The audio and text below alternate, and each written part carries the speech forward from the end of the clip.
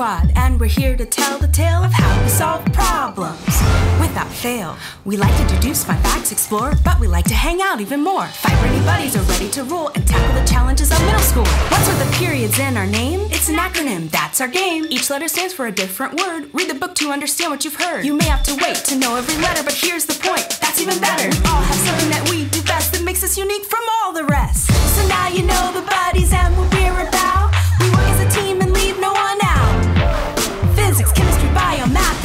Using them keeps our problems in check.